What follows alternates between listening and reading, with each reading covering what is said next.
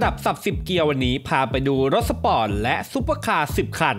ที่จริง ๆ แล้วมากับเครื่องยนต์รถบ้านรถใช้งาน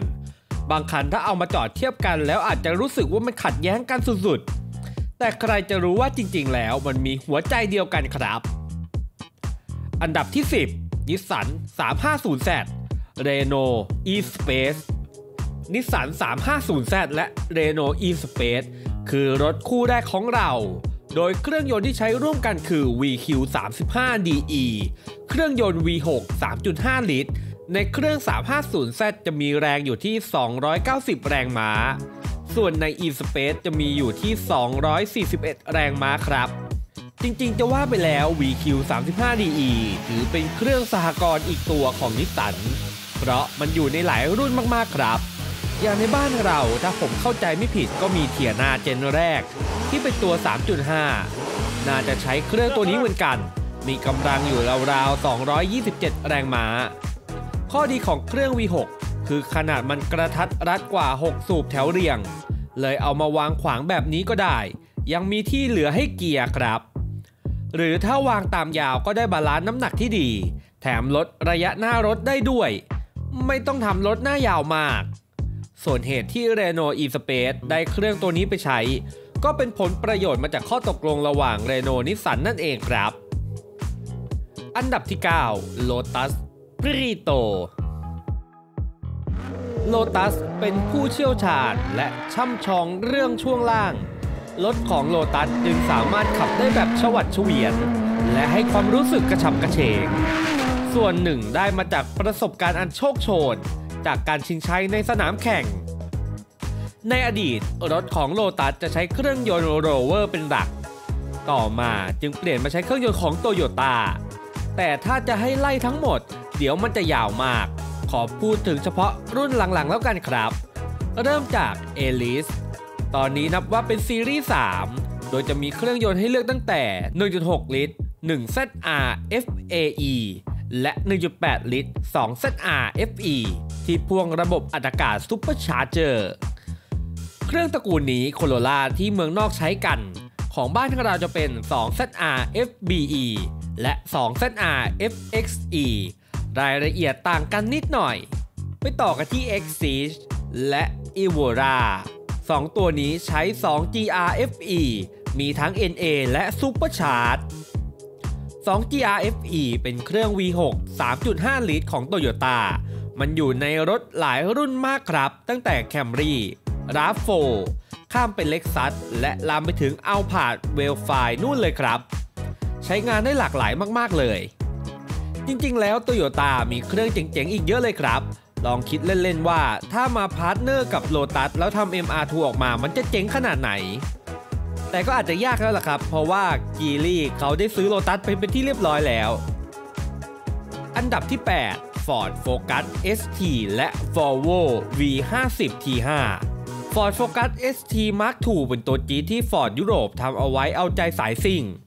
มันมากับเครื่อง 2.5 ลิตร 5 สูบเทอร์โบ และกำลัง 225 แรงม้า รหัสที่ Ford ใช้คือ Duratec RS แต่จริงๆแล้วมันคือ B5254T3 ซึ่งมันเป็นเครื่องของ Volvo ครับ รุ่นนี้ใช้เครื่องนี้มาตั้งแต่ V50 T5 C30 T5 และ C70 T5 จริงๆก็ต้องนับว่าแรงทั้งคู่ครับ เพราะตัว T5 ถือเป็นรุ่นเทอร์โบ 5 สูบของ Volvo ส่วน RS ถึงจะนับว่าเป็น B5254T3 แต่จะมีความเหมือนกับ B5254T4 ที่อยู่ใน S70R และ V70R มากกว่า คือมีองศาแคบเหมือนกัน ต่างกันที่ขนาดเทอร์โบ สาเหตุที่ Ford ไปเอาเครื่องวันโวมาใช้แบบนี้ นั่นเพราะ Focus Mark II เป็นรถที่อยู่ภายใต้โครงการ C Technology Program โครงการการแบ่งปันแพลตฟอร์มครั้งใหญ่ในประวัติศาสตร์อุตสาหกรรมยานยนต์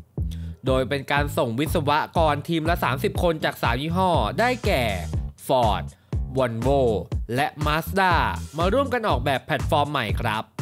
ผลผลิตจากโครงการนี้ได้แก่ Mazda 3 Ford Focus Volvo V50 และอีกหลายๆ รุ่นเลยครับ รถ 3 รุ่นนี้มีอะไหล่หลายชิ้นแบ่งปันกันใช้ได้ครับ อันดับที่ 7 BAC Mono และ Mazda 3ต่อเนื่องจากอันดับที่แล้ว นอกจากแพลตฟอร์มแล้ว Ford ยังได้เครื่องยนต์ตระกูล L ของ Mazda ไปหลายตัว โดยเอาไปตั้งชื่อใหม่ว่า Duratec นั่นเอง ซึ่งมันจะมีตั้งแต่รุ่น 1.8 2.0 2.3 และ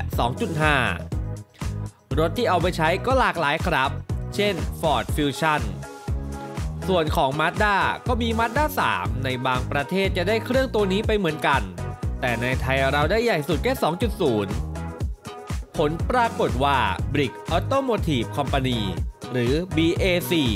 ผู้ผลิตรถสปอร์ต single seaterเอาเครื่อง Duratec 2.3 ส่งไปโมกับ Cosworth จากเดิมเครื่องตัวนี้มีแรงราวๆ 168 แรงม้า ก็ขยับขึ้นไปถึง 280 กว่าม้า ไม่รู้เขาทำยังไงเหมือนกันครับ ส่วนเกียร์เป็นแบบ Sequential 6 สปีดของ h i l l a n d และพอเอาไปวางในตัวถังที่มีน้ำหนักแค่ 540 กิโลกรัม มันเลยเป็นจรวดทางเรียบไปเลยครับ0ถึง100 ใช้เวลาแค่ 2.8 วินาที ในปี 2015 BAC Mono เปลี่ยนไปใช้เครื่องยนต์ Duratec 2.5 ซึ่งอยู่ใน Ford Fusion เหมือนเดิม โดยรอบนี้ปรับแต่งโดยสำนัก m a l j u n ไม่ใช่เขาเมาแล้วมาจูนนะครับ เมาแบบ M O U N โดยเขาเคี่ยนม้าออกมาได้ถึง 305 ตัว ส่วนตัวรถมีน้ำหนักมากขึ้นที่ 580 กิโลกรัม นอกจากปรับระยะฐานล้อให้กว้างขึ้นกว่าเดิม ซึ่งก็ถือว่ายังเบาอยู่ดีแหละครับ วิ่งปลิวเลย อันดับที่ 6 Noble M600 และ Volvo XC90 Noble เป็นแบรนด์รถสปอร์ตสัญชาติอังกฤษ และ M600 เป็นรถสปอร์ตรุ่นล่าสุดที่ออกมา ซึ่งล่าสุดที่ว่าคือเมื่อ 10 ปีที่แล้วนะครับ โดยมันใช้เครื่องยนต์รหัส B8 444S เครื่อง V8 ขนาด 4.4 ลิตร จาก Volvo แต่ Yamaha เป็นผู้ผลิต นั่นไง เขามีเอี่ยวอีกแล้วครับท่านผู้ชม เครื่องตัวนี้อยู่ใน Volvo XC90 กำลังอยู่ที่ 311 แรงม้า ส่วนที่ใช้ใน M600 จะถูกเอาไปประกอบใหม่ในสหรัฐโดยบริษัท Motorcraft และพ่วงเทอร์โบคู่จากกาเรตที่บูธ0.6 บาร์มันจะมีม้าอยู่ที่ 450 ตัวไว้ใช้ขับไปทั่วในชีวิตประจำวัน และที่ 0.8 บาร์ใน Track Setting ม้าจะดีดเพิ่มขึ้นมาอีก 100 ตัวเป็น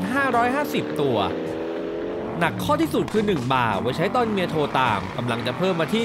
650 ตัวครับ 0ถึง60 ใหม่ มันทำได้ใน 3 วินาทีเท่านั้นเอง อันดับที่ 5 Noble M400 และ Ford Mondeo M400 ก็เป็นอีกรุ่นจาก Noble ที่ได้ไปหยิบยืมเครื่องยนต์จากรถบ้าน โดยรอบนี้เป็นเครื่อง 3 ลิตร V6 Duratec ซึ่งอยู่ใน Ford Mondeo ST 220 ที่แตกต่างกันคือได้ Route Performance เอาไปเค้นสมรรถนะ จากเดิม 223 แรงม้า ก็ขยับขึ้นไปถึง 425 แรงม้า และเมื่อรวมกับตัวถังน้ำหนักเบา มันเลยทำ0 60 ไมล์ได้ใน 3.2 วินาที และ1ส่วน4ไมล์ได้ใน 11.4 วินาทีเท่านั้นนิตยสารหลายเล่มในยุคนั้นถึงกับบอกว่ามันเหมือน Enzo Ferrari ที่มีราคาเท่ากับ 911 กันเลยแม่อะไรจะขนาดนั้น อันดับ 4 Ford GT และ Ford F150 Ford GT เป็นเหมือนจุดสุดยอดของรถยนต์จาก Ford มันเป็นการแสดงแสนยานุภาพว่าเฮ้ยซุปเปอร์คาร์แบบนี้ข้าก็ทำได้เหมือนกัน แต่รู้หรือไม่ว่าเครื่องยนต์ V6 ขนาด 3.5 ลิตร EcoBoost นอกจากจะอยู่ใน GT แล้ว มันยังอยู่ใน Ford F150 กระบะเรือธงประจำค่าย เครื่องตัวนี้เมื่ออยู่ในร่างของ F150 จะมีแรงอยู่ที่ 400 แรงม้า ขณะที่ใน GT จะมีอยู่มากถึง 660 ตัว อันดับที่ 3 k e r n i s e k CC8S และ Mercury Marauder เครื่องยนต์ที่ใช้ร่วมกันคือ Ford Modular เครื่อง V8 ขนาด 4.7 ลิตร 2 คันนี้เราเคยพูดไปแล้วใน 10 อันดับรถ sleeper car จากอเมริกา แต่ที่ไม่ได้พูดไปในคลิปนั้น คือมีรถสปอร์ตเจ๋งอีกหลายคันที่ใช้เครื่องตัวนี้ครับ เช่น Marcos Mantis Panos Esperante MG X Power SV ใช่ครับ MG ที่เรารู้จักกันดีนี่แหละ แต่คันนี้ทำไว้สมัยยังอยู่กับ Rover ครับ ตอนยังเป็นรถอังกฤษอยู่ อันดับที่ 2 Lamborghini Gallardo และ Audi S8 อย่างที่ทราบกันดีว่า Lamborghini และ Audi เป็นศิลปินจากค่ายเดียวกัน คือ Volkswagen Entertainment Audi เลยสามารถยืมเครื่องดนตรีจาก Lamborghini มาใช้ได้ครับ ว่าไปแล้วไปฟังเสียงกันหน่อย อะ โซโล่เครื่องตัวนี้คือเครื่อง V10 ขนาด 5.2 ลิตร โดยใน S8 จะมีแรงอยู่ที่ 444 ตัว ขณะใน Lambo มีถึง 552 ตัว เสียงนี่อย่างเพราะเลยครับ เครื่อง V10 เนี่ย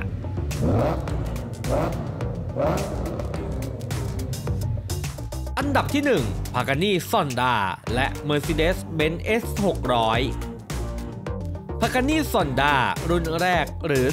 42 มันใช้เครื่องยนต์ขนาด 6 ลิตร V12 จาก Mercedes-Benz รหัส M120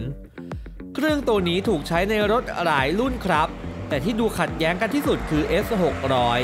หรือที่เรียกกันว่า W140 Full Size Sedan มาตรหรู ซึ่ง M120 ใน W140 มันมีกำลังอยู่ที่ 402 แรงม้า ส่วน C12 อยู่ที่ 444 แรงม้า และแรงบิดสูงสุด 640 นิวตันเมตร C12 ถูกสร้างออกมาทั้งหมด 5 คันครับ คันแรกต้องเอาไปทดสอบการชนเพื่อให้ผ่านกฎหมาย สามารถจดทะเบียนเพื่อจัดจำหน่ายได้ ส่วนที่เหลือก็ใช้เพื่อประชาสัมพันธ์ และจำหน่ายให้ผู้สนใจ รุ่นต่อมาหลังจากนี้ยังใช้เครื่อง M120 ครับ และ AMG เข้ามาจัดการให้ รุ่นที่มีกำลังสูงสุดคือ HP Barchetta จากปี 2017 ครับ มันมีม้าอยู่ที่ 789 ตัว M120 เป็นเครื่องที่มีโทนเสียงดีมากเครื่องหนึ่งเลยครับ มันเลยมีคนเอา S600 ไปโมท่อเล่น ซึ่งเสียงที่ได้นี่ก็นึกว่า F1 กันเลยทีเดียวครับ